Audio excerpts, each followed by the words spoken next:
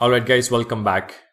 For our last example concerning useReducer, we will be fetching data from an API endpoint. If you can recollect, we have already had a look at data fetching with the useEffect hook. However, with useEffect, we were using the useState hook. This time though, instead of useState, we will be using the useReducer hook. Remember, both useState and useReducer are used for state management. So what I want to do is compare and contrast how we use them both for data fetching. Which is why in this video we will go over data fetching with the useState hook and in the next video we are going to do the same with useReducer. In both the videos the scenario remains the same. As soon as the component mounts we will make an API call to fetch data. While the data is being fetched, we will show a loading indicator. When the data is fetched successfully, we will hide the loading indicator and display the data. If there was an error fetching the data, we hide the loading indicator and display an error message. Alright, with these points in mind, let's begin. The first step is to install the Axios package. In the terminal, run the command npm install Axios. Next, I'm going to create a new file called datafetching1.js.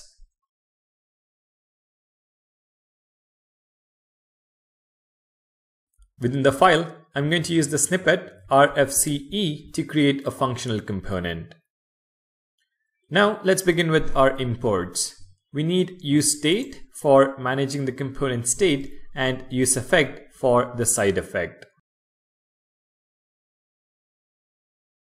For making the HTTP call, we need Axios. So import Axios from Axios. The next step is to define the state variables required for this data fetching component. For our simple scenario, we need three state variables. A loading flag to indicate the data fetching happening in the background. So loading, set loading, and the initial value will be true. The next variable is an error message to display an error if something went wrong. Error, set error, and the initial value will be an empty string. And finally, a variable to hold the post which we will be fetching from an API endpoint. Post comma set post and the initial value is an empty object. Alright, now that we have the state variables, the next step is to make the API call and set the appropriate state. For side effects, we use useEffect. It accepts an arrow function as its first parameter. And for the second parameter, we pass in an empty dependency array to ensure our API is only called once. That is, we want the component did mount behavior. Now within the arrow function, we make our get request. Axios.get. For the endpoint, we will again be using JSON placeholder.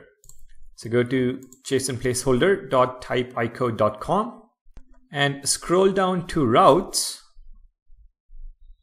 And we are going to pick the endpoint that returns exactly one post. Click on the link and copy the URL. Head back to VS Code and paste the URL as a parameter to the GET request. Now when the GET request is made, a promise is returned. So let's add a then block and a catch block. If the request is successful, we make three state transitions. First, we set loading to false. Set loading. Next, we set the post variable to response.data which contains the post object. Finally, we set the error message to empty to clear any previous message if at all they were being displayed. Set error, an empty string. Now our request might not succeed all the time, so let's add code in the catch block as well. Again, we first set the loading flag to false. After that, we set the post object to an empty object to hide any existing post that might be displayed in the browser. Finally, we set the error message to something went wrong. For the last bit of code, let's take care of the JSX.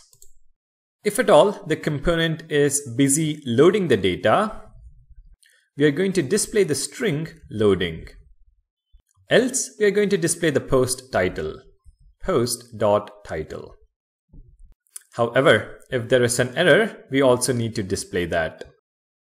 So if error, display error, else return null.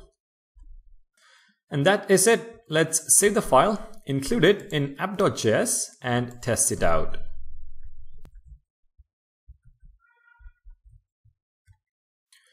You can see that when I refresh, the string loading appears for a fraction of a second and then the post title is displayed. And if I were to enter an incorrect URL,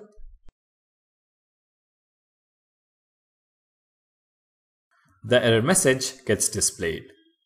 The code is working as expected.